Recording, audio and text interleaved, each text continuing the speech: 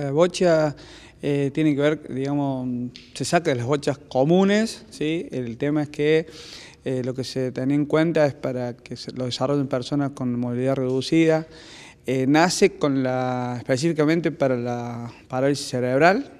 eh, como diagnóstico, pero después se amplía considerando de que es una actividad que lo pueden desarrollar otras personas que tienen movilidad reducida sin tener el diagnóstico para el cerebral.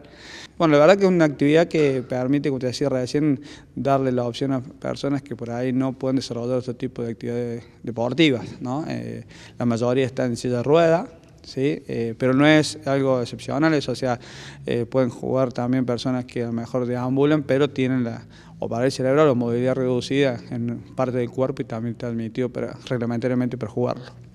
Decíamos, segunda fecha de este circuito, eh, recordanos cómo surge este circuito de boche. Bueno, nosotros, eh, esto tiene que ver con que anualmente se viene desarrollando ya debe ser el tercer o cuarto año a nivel provincial, este, un torneo provincial en el estadio eh, Kempes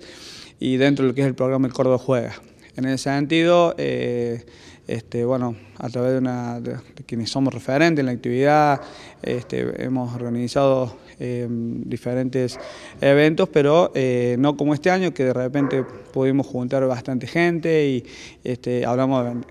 bastante, 18, 20 personas, y lo cual nos incentivó a hacer este, varias fechas, así que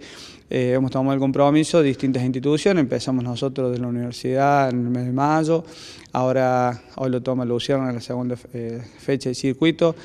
eh, Asibrim tomará a fines de julio, principio de agosto la tercera fecha, posteriormente lo va a desarrollar la escuela de doctora Cecilia Grierson y va a cerrar el programa de deportes adaptados la quinta fecha,